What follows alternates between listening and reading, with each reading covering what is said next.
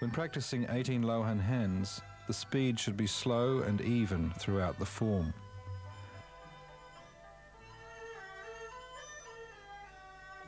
Do not use external force, but rather an internal force which is soft and relaxed and without tenseness, even during movements of full extension of the limbs.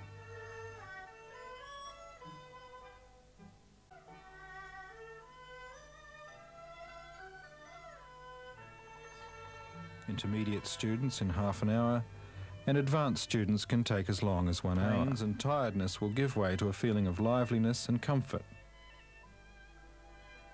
Allow yourself about six months.